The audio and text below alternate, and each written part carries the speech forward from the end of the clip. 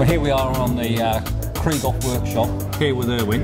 Good morning, Erwin. How Good are morning, you? John. How are you? Yeah, good to see you. Good to see Not you. too bad. Now, Erwin, it just, it, it's been fascinating. We've been watching you, and, and, and just explain what you're actually doing. This is a client's gun, isn't it? It is, and uh, he had a problem flinching as he was shooting. So what we have done, um, he tried lighter trigger pulls and everything, which wouldn't work. Yeah. So we fitted in a release part, which is this bit here, Okay.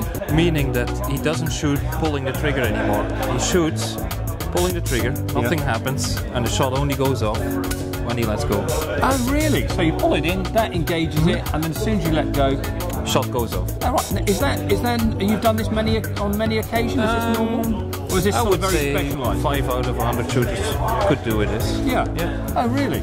So uh, you started this this morning, Yeah. and you've got to get this finished by what time? Uh, 20 minutes. So 20 minutes. Well, well, thank you very much indeed for your time. We better let you get on with it. And, No problem. uh, and, and, and absolutely fascinating. Thank you. Thank you very much. All right, lovely. See you lovely. later. Thank you. Bye.